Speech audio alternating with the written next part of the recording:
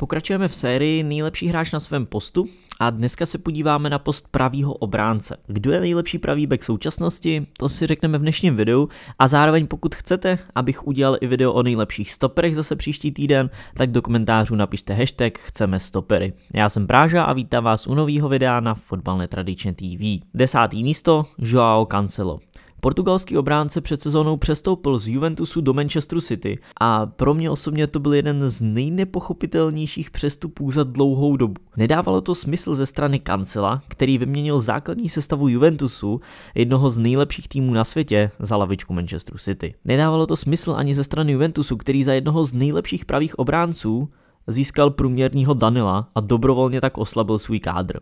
Smysl to nedávalo ani ze strany Manchesteru City, kteří měli problém uprostřed obrany, ignorovali odchod Kompányho a místo toho koupili pozici pravého obránce, kterou má pro sebe rezervovanou Kyle Walker. Jediným rozumným vysvětlením by bylo potom přesunutí Volkera na stopera, což se ale nestalo, a takže z tohohle důvodu pro mě příchod kancela nedával smysl a zároveň i ze stejného důvodu je kanclo až na desátém místě, jinak by byl 100% v top 5 a dokonce by bojoval i o top 3, ale vzhledem k tomu, že nenastupuje pravidelně, tak se mu zkrátka výše ani dát nemohl. Deváté místo Matt Doherty. Irský back ve službách Wolves vyletěl až v posledních letech a přestože mu je 28 let, takže se na vrchol dostal relativně pozdě, tak ukazuje, že i v nižších soutěžích jsou velice kvalitní fotbalisté. Letos se z pozice pravého beka už dokonce čtyřikrát střelecky prosadil a jeho výkony neustále rostou. Výkonnostně by měl určitě i na větší klub, ale je otázka, jestli ho kvůli věku ještě nějaký opravdový velkoklub bude chtít, protože nechci říct, že je starý, ale dneska už kluby koukají na to, aby ten hráč jim mohl dát něco i do budoucnosti a preferují mladší varianty. Jo, a Doherty je momentálně v ideálním fotbalovém věku, ale jak dlouho bude hrát? 3, 4, maximálně 5 let na nějaký top úrovni, a to ještě mu dávám hodně, spíš si myslím, že to budou 3 až 4 roky, tak to už je pro ně zase složitější dostat se fakt do té top špičky. Každopádně, kdo by před třemi lety čekal, že v top 10 nejlepších pravých obráncích bude právě Matt Doherty? Pravděpodobně nikdo, ani on sám, ale stejně jako roste celý Wolves, tak rostou i individuální výkony do Hertyho. Osmé místo, Tomás Munier. Obránce Paříže, kterému po téhle sezóně končí smlouva a je velká šance teda, že se stane volným hráčem. Stejně jako do Herty mu je mu 28 let, což na jednu stranu znamená ideální fotbalový věk, ale zároveň už si kluby rozmyslí, zda za ní utratí nějaký velký peníze, když před sebou může mít 3 až 4 roky na vrcholový úrovni. Vzhledem k tomu, že ale bude zdarma, tak by se mělo jednat o velice vážený zboží a osobně bych se ani nedivil, kdyby se o něj v létě strhla bitka. Jednak se určitě nevzdá ani současný zaměstnavatel Paříž, ale zároveň je ve hře Dortmund a postupně se podle mě přidají i další kluby. Osobně ho sice nepovažuji za tu úplně nejužší špičku, ale nedá se mu upřít, že na svou výšku si pozici beka odehraje relativně solidně, a vzhledem k fyzickým predispozicím nabízí mu zase jiné možnosti. Je silný při standardkách a spoustu týmů využívá tu taktiku, že nakopává dlouhý míče na útočníka, který si zběhne na pozici krajního beka. V momentě, kdy si zběhnete k Munierovi, tak to je jako kdybyste stáli u stopera, takže tuhle taktiku nemůžou využít. Sedmé místo Aaron van Bissaka jeden z mladých a nadějných fotbalistů, kteří mají celou kariéru před sebou. Je mu pouhých 22 let a před sezónou podepsal smlouvu s Manchesterem United. To je přesně ten případ, o kterém jsem mluvil výše. United si mohli vybrat Dohertyho, který by byl větší jistotou kvůli zkušenostem, ale raději zvolili talentovaného Fambisaku s tím, že chtějí pracovat s jeho potenciálem i do budoucna.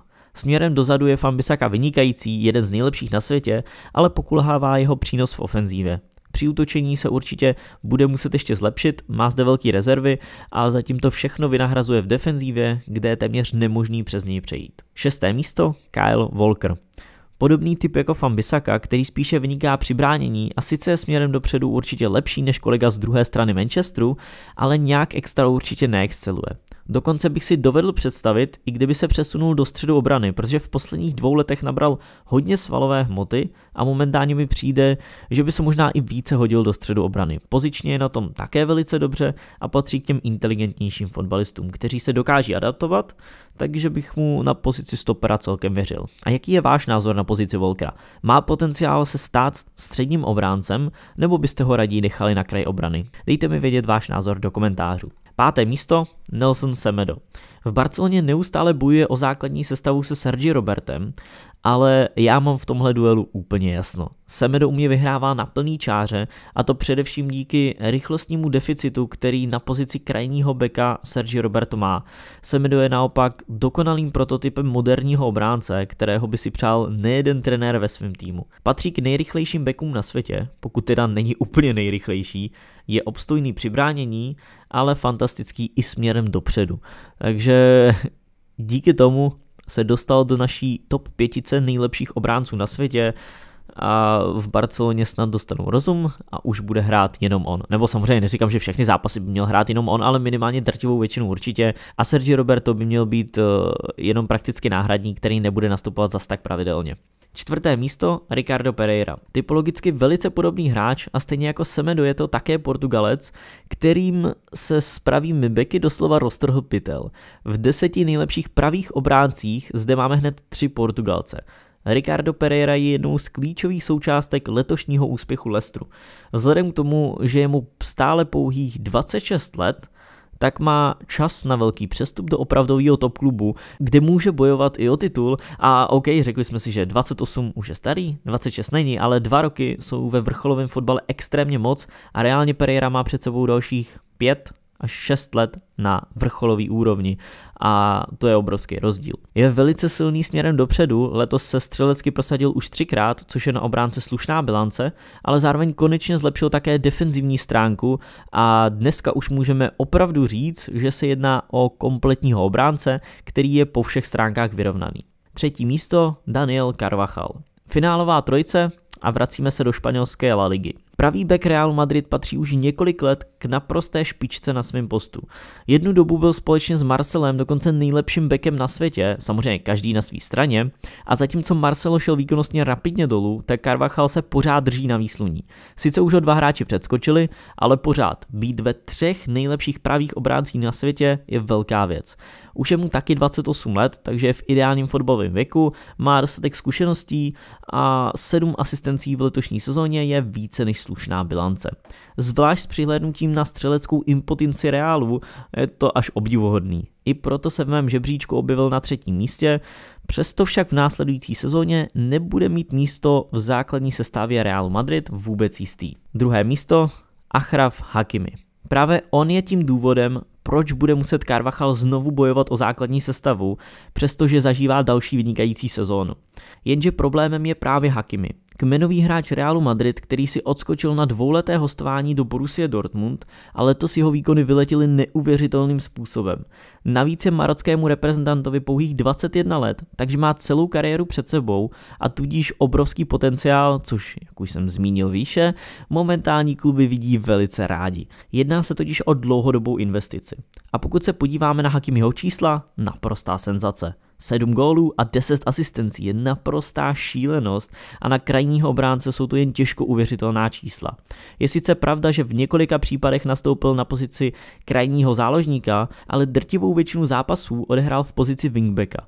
Proto jsou jeho čísla a efektivita naprosto ohromující. Po sezóně mu hostování v Dortmundu končí, vrátí se do Real Madrid a začne krutý boj o základní sestavu se zkušenějším Carvachalem.